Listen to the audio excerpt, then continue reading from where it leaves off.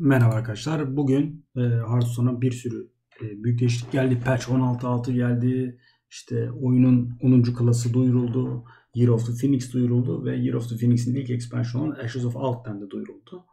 E, diğer konuları inceledik. Şimdi sıra Ashes of Outland'de. Bir kere öncelikle arkadaşlar Ashes of Outland Demon Hunter'ı getiren ilk expansion olacak. Daha doğrusu Demon Hunter'ı getiren expansion olacak. Ee, işte Demon Hunter geliyor. Outcast diye bir keyword geliyor. Outcast keyword'ü sadece Demon Hunter'lara ait.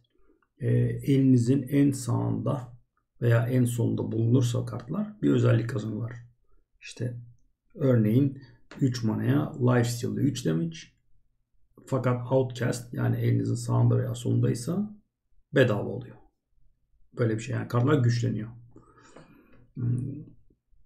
Sonra Prime diye bir özel Legendary Minion'lar gelecek arkadaşlar. E, aşağıda değineceğiz ama e, kendi manasına göre normal, iyice bir takım Legendary'ler bunlar. Öldükleri zaman desteğe e, Prime versiyona kaçıyorlar. Bu benim e, yayında kullandığım şekli tillahları diyebiliriz. İnanılmaz Prime versiyonları. Yani eğer yaratı oynayıp öldürdük Prime'ını çekerseniz bayağı oyunu e, sizin lehinize çevirebilecek potansiyele sahipler. Imprisoned bir demon'lar olacak arkadaşlar. Imprisoned demon yani hapisteler. Oyunu açtığınızda dormant oluyor. Birkaç tur sonra uyanıyor ve ciddi bir şey yapıyor. Çünkü kart açtığınızda hiçbir şey yapmıyor ya. Bayağı ödüllendirici oluyor. 135 yeni kart diyorlar. Bu da eğer doğruysa arkadaşlar bu expansion'da sadece 30 neutral kart olacak. Çünkü normalde bilirsiniz 9 klasın her birinden 10'ar tane kart olur. Ee, üzerine de 45 neutral olur. Eğer 15 ee, Demon Hunter kartı bu konuya dahil ise 90 normal klasların 15 Demon Hunter'ın 105 geriye de 30 nötrallere kalıyor. Hmm. Olabilir tabi böyle. Olmaz demiyorum.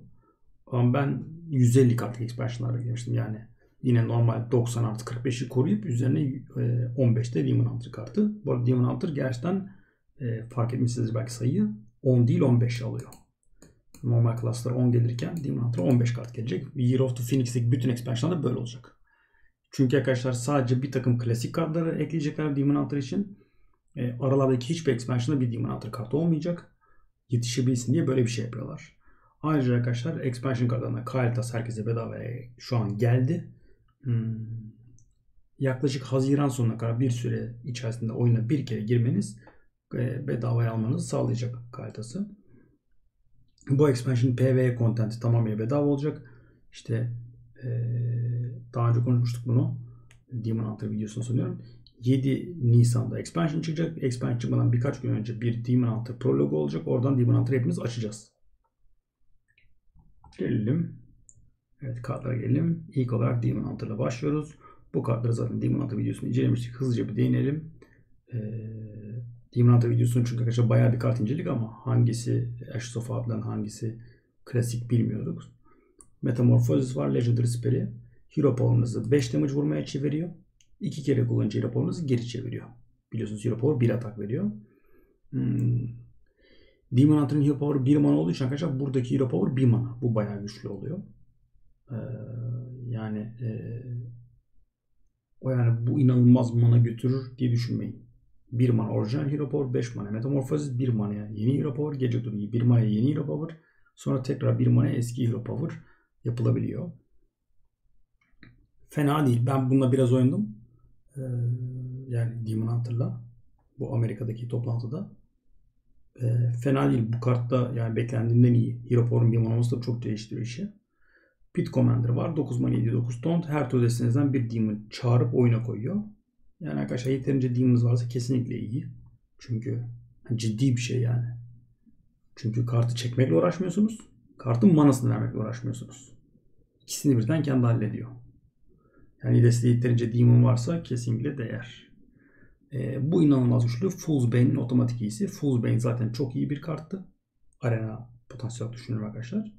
Yani bu Fool's Bane gibi fakat kafaya da vurabiliyor. Ayrıca Hero Power'ımız da atak verdiği için bunu 6 mana oynadığınız zaman mesela arkadaşlar 4-4 var kullanabiliyorsunuz otur. Furious Feltin çok şeker. Demon Hunter, Murloc. Ee, otur saldırdıysanız 4'e 2 rush oluyor 2 manaya. Skull of Ghoul'dan çok güçlü. 5 mana 3 kart çekiyorsunuz. Outcast'ini kullanabilirseniz e, eliniz çektiğiniz kartları 3 de ucuzlatıyor. Yani arkadaşlar elinizde en sağda veya en soldaysa e, çektiğiniz 3 kartın 3'ü de 3'er mana ucuzluyor. Potansiyel toplam 9 mana indirimi. Bayağı ciddi. Ama tabi burada e, zaten ucuz olan kartları çekip o kadar mana kar etmemeniz mümkün ama güçlü bayağı. E, Spectral Sight 2 mana. Draw a card. Outcast ile draw another. Bir kart daha çektiriyor. Yani becerebilirsiniz iyi. Ee, tabii arkadaşlar burada elinize müdahale etmek var. Mesela atıyorum bu en soldan bir sağdaki ise en soldaki kart oynadığınız zaman bu en sola gelir. Veya ne bileyim en sağdan bir soldaki ise en sağdaki kartınızdan en sağa gelir. Şöyle debelenmeniz lazım. Ee, ama tabii ortalarda yani eliniz 5-6 kartken ortalardaki kartları outcast özelliklerini çalıştırmak kolay olmayabilir. Gelelim druid kartlarına arkadaşlar. İşte bu prime kartlardan bir tanesi. 3 mana 3'e 4 taunt. Öldüğüm destenize prime veriyor. Prime'lar aşağıda beraber bakarız hepsine.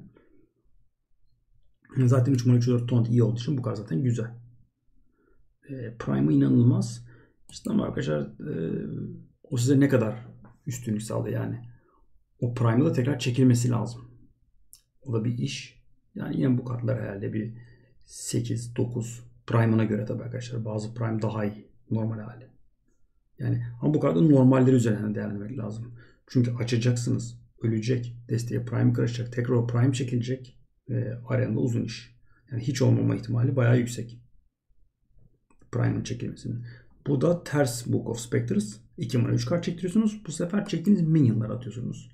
Ee, spell temalı bir druid destesi yaparsanız arkadaşlar güçlü olabilir. Nasıl Book of Spectres'la hmm, yaratık temalı mage destesi yapıyorsunuz iyi oluyordu. Burada da e, spell temalı druid destesi yaparsanız bu iyi olabilir. Bu ilk dormant kartımız arkadaşlar. 3 mana 3'e 3. Açıyorsunuz bunu. Hiçbir şey yapmıyor. 2 tur bekliyorsunuz. 1 tur geçiyor. Sonra bir tur daha geçiyor. Uyanıyor. Ve gördüğünüz gibi burada diyor ki uyanırsa when this awakens bu uyandığında diyor elinizdeki rastgele bir minyonun manasını 5 düşürüyorsunuz. Geldi dur saldırmıyor bu arada. Yani şöyle arkadaşlar bunu açtınız. Go dediniz. Tur size geldi. 1 dedi bu kart. Tekrar go dediniz. 2 dedi. Uyandı. Elinizdeki bir kart 5 mana ucuzladı ve bu hala saldıramıyor. Go diyorsunuz. Hunter'da 2 manaya 1 beast çek. Artı 3 artı 3 ver. Scavenger's Ingenuity. Hmm. Fena değil aslında. Yani mesela atıyorum Scavenging High'ını çekerseniz 4 manaya 5'e 5 oluyor. Ama tabii arkadaşlar şu problem var. Hmm. Yo aslında iyi değil mi? Yani şu güzel arkadaşlar. Bir beast çekiyorsunuz. 2 mana veriyorsunuz bu işe. Yani normaldekinden 2 mana fazla veriyorsunuz. Fakat artı 3 artı 3 ile geliyor. Karlı ya. Yani işte bununla Scavenging High'ını çekerseniz 4 mana 5'e 5 oluyor. Atıyorum. Ee, neydi adı? Savannah Highmane çekerseniz 8 manaya 9'a 8 öldüm 2 tane. Evet evet. Fena değil. Fena değil. Destenizin ne kadar beast olduğuna bakar arkadaşlar. Yani arenadan bahsediyor bahsedersek destenimiz var. 3 beast'te biraz tehlikeli olabilir. Çünkü beast'lerin hepsini bundan çekme ihtimaliniz var. Yani şey demeyin. E, işte efendim Hunter oynarken arenada 3 beast mi olurmuş? Onu bilemezsiniz arkadaşlar. Çünkü arenada iyi kart almakla yükümlüyüz ya. Yani gidip aa dur abi Hunter'ız biz. Beast enerjisi olsun diye gidip Beast alamazsınız düzgün bir kartın üzerinden. Ama evet yeterince Beast varsa iyiymiş. Çalışır. Evet bir diğer bu Mage kartımız 3 manaya 4'e 5. 2 tur Dormant. Uyanınca bütün rakibin yaklarına 2 vuruyor. Yani arkadaşlar yine aynı şey. 3 manaya açtınız. Go dediniz. Tur geldi 4. tur oldu. 3. tur açtığınız varsayalım. 4. tur oldu. Bir tık yok kartta. Yani düşünün bakın. Açtığınız hiçbir şey yapmadı. 4. tur hiçbir şey yapmadı. 5. tur adam bütün yaklarına 2 vurdu. Ve saldıramıyor hala. Ee, ortalıkta bu kadar demon olması bu arada arkadaşlar. Druid'de, Mage'de demon olması belki bu demon öldüren e, Warlock kartının metagame'de kendi bir yer bulmasına sebep olabilir. E, neydi adı? Silvermire Demon Destroy 5 Lifeout Sacrificial Pact. Rogue'da arkadaşlar Secret'lar döndü. Bundan başka birkaç Secret daha vardı sanki. E, açıyorsunuz Secret'ı. E, rakibiniz bir yaratık e, oynadığı an 2-3 poisonous bir ambusher çıkartıyorsunuz. Ki fark etseniz ilk gen Roxic'ları çok dandik ve zayıftı. Bunlar fena değil. Yani bu fena değil. Diğerleri de göreceğiz bakalım zamanla. Ee, Shaman'ın Prime arkadaşlar. 3 mana 4'e 3 spell damage. Zaten güzel. Evet, ölünce desenize Vash Prime karıştırıyor. Warlock'ta Dark Portal gelmiş arkadaşlar. Çok karizmatik bir spell. Ee, 4 manaya minion çekiyorsunuz. Eğer elinizde 8 kart varsa en az 8 kart varsa 5 mana ucuz atıyor. Yani arkadaşlar şöyle elinizde 8 kart var. Bunu attınız. Bu kart gitti elinizden. Elinize minion geldi. Elinizde 8 kart var yine. O minyonu 5 mana ucuz atıyor. Yani dolayısıyla bir mana kar ettiriyor. Ya bu biraz daha bir renk kartı arkadaşlar. Arena'da 8 kart bulmasını beklemek çok büyük bir fantezi yani. Hani olduğu zaman olur ama çoğu zaman olmaz. Warrior'ın Legendary'nin hepsini görmüşüz. Ee, Kargat var. 4 mana 4 4 rush. De öldüğüm desinizde Kargat Prime kaçtı arkadaşlar. Prime'ların genel teması bu. Yani işte dediğim gibi normal güzel bir atak defansları var. Öldükleri zaman destenize Prime versiyonu karıştırıyorlar. Ve Legendary silahımız var enteresan. 3 mana 1'e 4. Hero'nuz damage yiyecek olduğu zaman onun yerine bu bir durability kaybeder diyor. Şimdi burada arkadaşlar belki anlaşılmayabilir. Adam bu varken para satarsa bu bir durability kaybediyor o kadar. Ama adam Master for Battle'ın birbirleriyle vurursa 3 durability kaybediyor. Yani her türlü damage'ı engelliyor ve bir durability kaybediyor.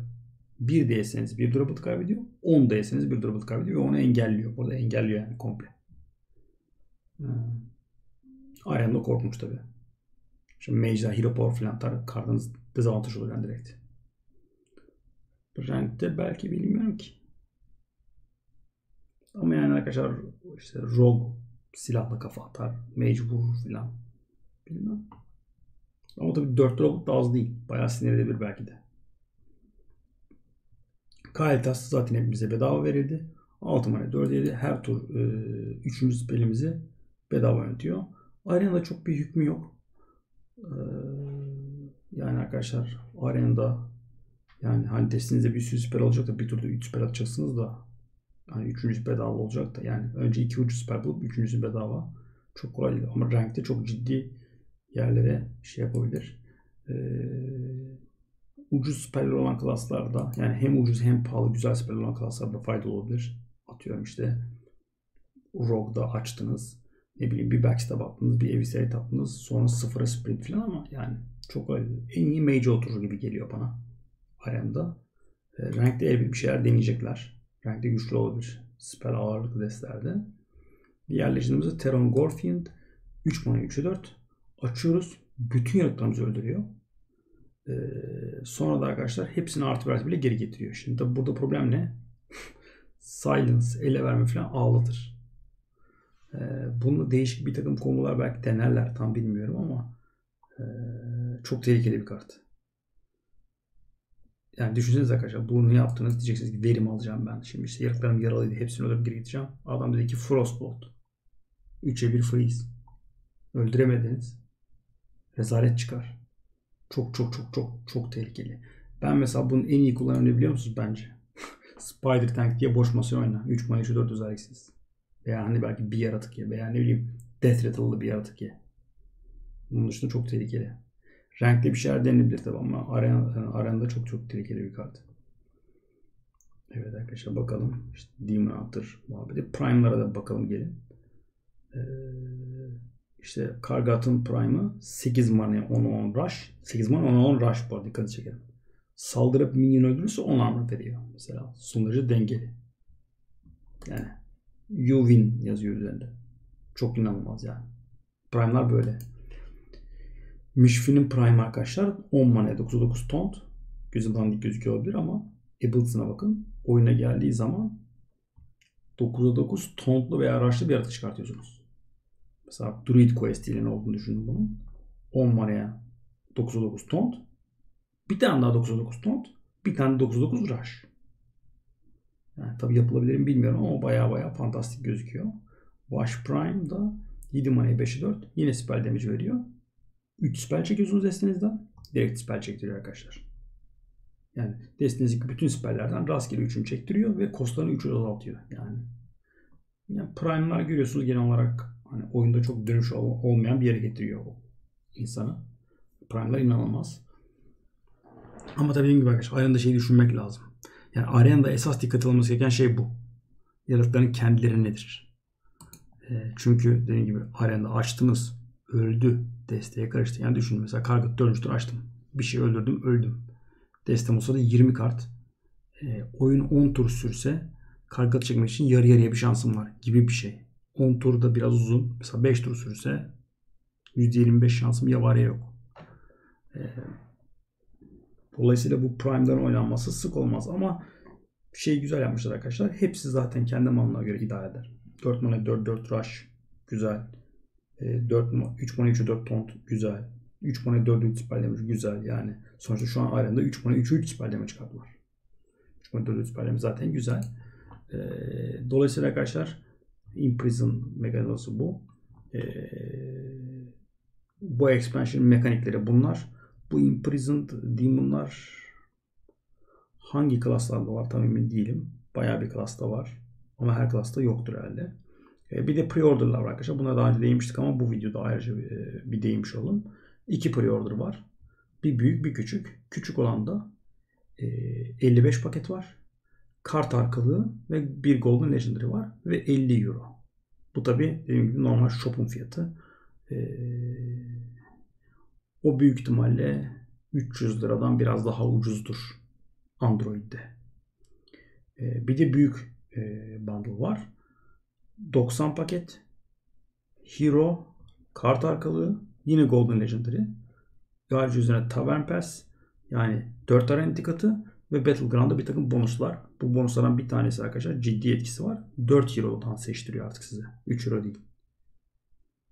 Yani normal oyuncular 2 Euro'dan seçecek. Ee, bu Battleground bonusu Tavern Pass almış insanlar 4 Euro'dan seçecekler. Bu of Outland bitene kadar. Bir sonraki arkadaşında tekrar bir şekilde bunu yenilemek gerekecek. Bunu isterseniz Gold'la satın alabiliyorsunuz ama bu Tavern Pass'i. 2500 Gold alabiliyorsunuz. İşte yine 4 ticket ve bu Battleground bonuslarını veriyor. Bunlar arkadaşlar eski e, pre göre. Bu arada 80 euro bunun fiyatı da. Bu da e, sanıyorum 450 lira civarı Android'de. Normal e, shop'tan alsanız 550 lirayı geçiyor. E, bu bundle'lar arkadaşlar eski bundle'lara göre daha iyi. Eskiden e, 50 euro olurdu. 50 paket olurdu içerisinde. Yani birebir olurdu. Şimdi burada 5 ekstra paket var. Ayrıca Golden Legendary ve kart arkaları var. Büyük bundle daha da iyi. 80'e 90 paket var. Bir kere. %10'dan biraz daha fazla bonusu var. Ayrıca üzerine Hero var. Golden Legendary falan. Bir de 4 de Ticket var arkadaşlar. Ve Arena Ticket e, giriş sanıyorum 2 Euro civarı bir şey olması lazım. Hani zaten buradan 8 Euro bir değer direkt ediniyorsunuz. E, ayrıca üzerine Battleground bonusları Battleground sevenler için güzel bir artı. 4 euro arasından seçmek için kesinlikle ciddi bir fark. Yani düşünün işte arkadaşlar rakibiniz size 2 tane sunuyor. Bir tanesi 3 tane sunuyor. Size ise 4 tane hero sunuyor. İstediğini alıyorsunuz 4 taneden. Tabi baya baya güçlü. Gelen board buymuş. Hoşmuş. Ferrier var galiba şurada. Dolayısıyla arkadaşlar şimdilik açıklanmış kartlar bu kadar. E, açıklandıkça böyle bir ekşi olmasa bile 5 euro tane açıklandıkça ben yeni videoyu koyarım. Görüşürüz.